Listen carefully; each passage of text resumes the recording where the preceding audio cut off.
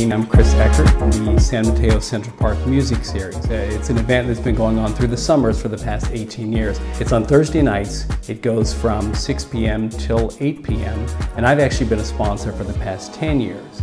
Before I started being a sponsor, I, I actually would come to this all the time. I only live a block away from Central Park and it was kind of cool. I came for a few years and I thought, okay, this is this is something I, I, I, should become a sponsor of just to make sure that I can help out with this, this community event.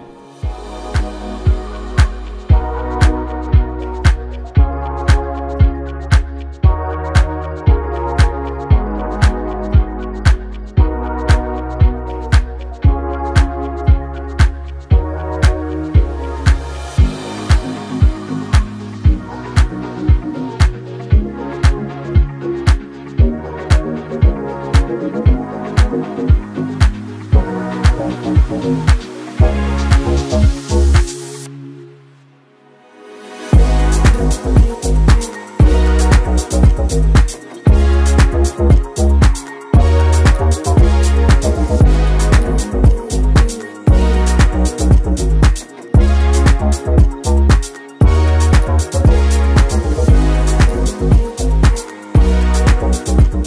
you haven't been to it before, I would definitely say come check it out and you're probably going to want to come back.